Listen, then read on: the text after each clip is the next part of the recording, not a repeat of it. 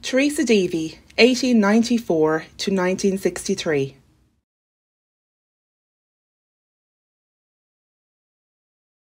Teresa Deevy was an Irish deaf playwright who wrote many plays for the Abbey Theatre.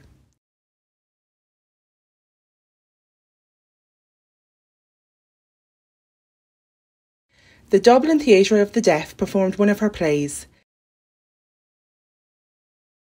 The King of Spain's Daughter, at the Abbey Theatre's Peacock stage from the 19th to the 23rd of September 2017.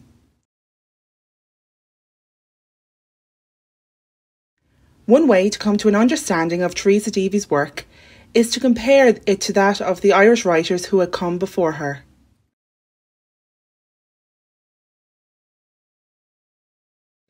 Teresa was born in 1894, three years before W. B. Yeats, Lady Gregory, and Edward Martyn would found the Irish Literary Theatre, which would later become the Abbey Theatre.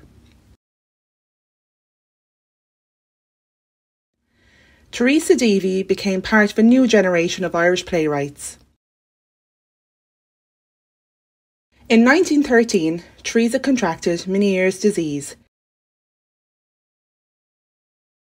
which affected her balance and caused her to lose her hearing, while in her studies at University College Dublin. At around the same time, her formerly well off family's fortunes went on the decline and she was needed more often to stay at home with her mother and her sisters in Waterford at Landscape, which was the name of the family estate. Both while her hearing was deteriorating and after it was lost entirely, Teresa made frequent trips to London, England.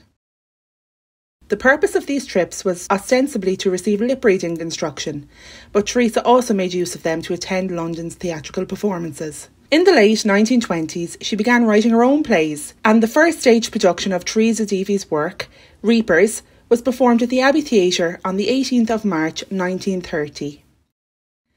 This was soon followed by performances of her subsequent plays, The Disciple in 1931 and Temporal Powers in 1932.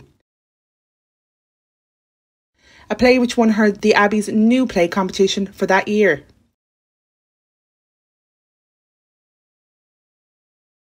Her next play was the very powerful one act play, The King of Spain's Daughter, staged in 1935.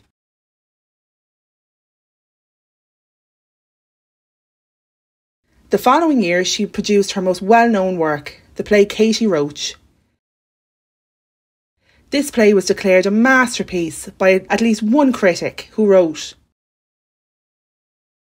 my knowledge of Miss Teresa Deevy's previous work had prepared me for a vital and unusual play, but not for a masterpiece.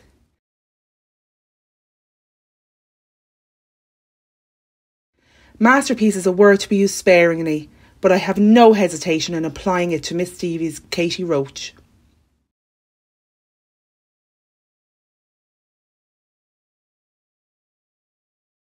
In the middle years of the 1930s, Teresa produced no less than six separate plays as she displayed an impressive burst of creativity that excited theatre goers and gave them expectations for the future. However, Teresa herself was not satisfied with the Abbey. She wrote to a friend Something will have to be done about the theatre in Ireland. It's appalling. In public, she railed against the Irish theatre critics of the 1930s and against their censorship. she would write, Who are these censors? And by what right do they hold office? And how, in the case of proved incompetence, can they be removed?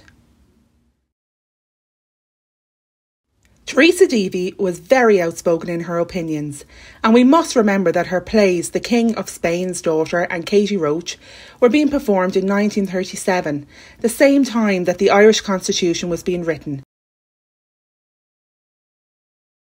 and we must realise that her underlying message was a challenging and subversive one. During this period in Ireland, the Conservative leadership was actively suppressing women's rights. Through her plays, Teresa showed how women were oppressed by men in Irish society. Women had few rights. In The King of Spain's Daughter, the character Annie Kinsella, forced by her father, faces a choice between marrying a man for whom she feels no love or a life of endlessly repetitive work in a factory. It's clear that either outcome will result in her unhappiness and oppression, and the scene in which she makes the decision was staged with a large road closed sign displayed above her. In the play, Katie Roche, Deevy develops her theme and starkly reveals the contrast between the new state of Ireland providing seemingly boundless opportunities to its citizens, yet severely limiting those opportunities for women. In this play, Teresa Deevy is critical of Irish society because of the limited opportunities being offered to women by the Irish state. This is in marked position with the official view expressed in the 1937 Constitution that women's duty is within the home to raise her family. Katie Roche is a reflection of Ireland in the 1930s, which a cultural war could be said to take place to determine what sort of society the nation would become Catholic or non religious. Very little changes have been made, but importantly, the values of people's lives in the play has been shown. In Ireland during the 1930s, there was increased censorship.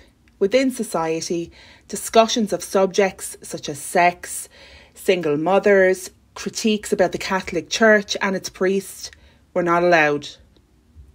In 1939, the Abbey Theatre would accept one of her new plays, Holiday House, which a new director refused to have it staged at the Abbey.